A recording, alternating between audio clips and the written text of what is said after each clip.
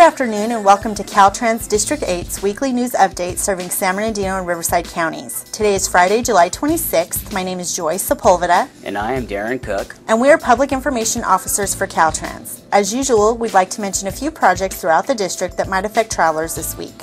Paving has begun on a three mile pavement rehabilitation project on State Route 210 from 5th Street in the city of Highland to Interstate 10 in the city of Redlands. The nighttime hours for the project are 10 p.m. to 6 a.m. At least one lane will be open at all times. The paving on State Route 243 will resume next Wednesday, July 31, 2013, from 7 a.m. to 6 p.m. The project had been suspended due to the mountain fire in Idyllwild.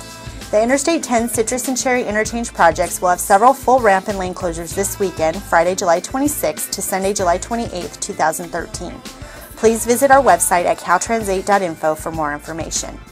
Landscape maintenance crews will close the number one lane of Interstate 10 in both directions from State Route 62 to Haugen Lehmann this weekend from 6 a.m. to 1 p.m. for landscape work in the center median. For more information on these and other projects throughout the district, visit our website at caltrans8.info. Follow us on Twitter at twitter.com slash caltrans8. For those of you that are heading out for the weekend to enjoy the warmer weather, check out Caltrans' quick map on our webpage for any traffic delays along your route. Remember the 55 mile per hour speed limits in the construction zones on the 15, 91, and 215 freeways. Traffic fines are doubled in construction zones, so please slow down. Please don't text or take phone calls while driving. One text or call could wreck it all. And most importantly, have a safe and fun weekend.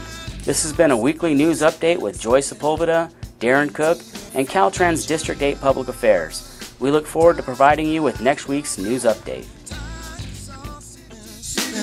into.